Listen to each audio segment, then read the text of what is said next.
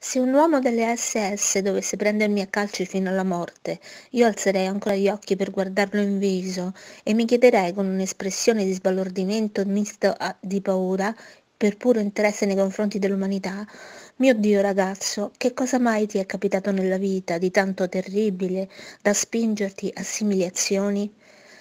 Questo è un, un, pensiero tratto dal diario di Etty Illesum, eh, al secolo Esther Illesum, eh, insegnante e filosofa eh, di origine ebrea, nata in Olanda eh, nel 1914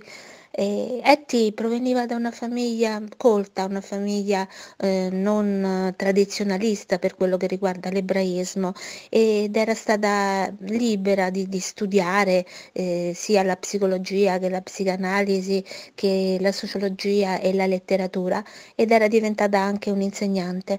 Quando le cose si misero mm, in modo eh, drammatico, grave per quello che riguarda eh, l'inizio della persecuzione degli ebrei, ebrei da parte dei, del, della Germania nazista e con i primi venti di guerra i genitori di, di Etty pensarono di trasferirsi in America, ma Etty era contraria a questa cosa e malgrado mh, quando in seguito la situazione peggiorò e cominciarono le prime deportazioni nei campi di, di concentramento in Polonia, in particolare verso Auschwitz, Etty, pur potendosi salvare grazie a delle conoscenze importanti, decise di rimanere dov'era e continuare la sua eh, azione di solidarietà nei confronti di chi aveva bisogno e soprattutto eh, delle persone che eh, mh, erano a rischio e in pericolo per la deportazione.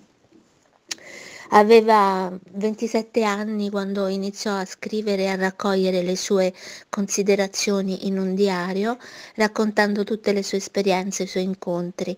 E a un certo punto, conscia del pericolo che correva,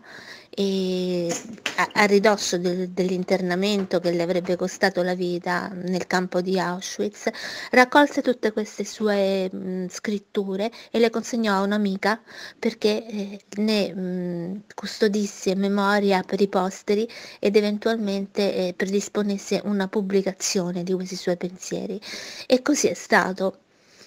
A 29 anni eh, fu internata nel campo di Auschwitz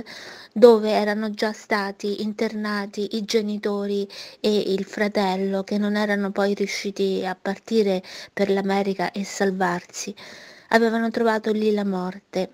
e così eh, fu per lei nel novembre del 1943 Etty Illesum a soli 29 anni avrebbe finito la sua vita pur breve, anche se molto molto intensa, nel campo di Auschwitz.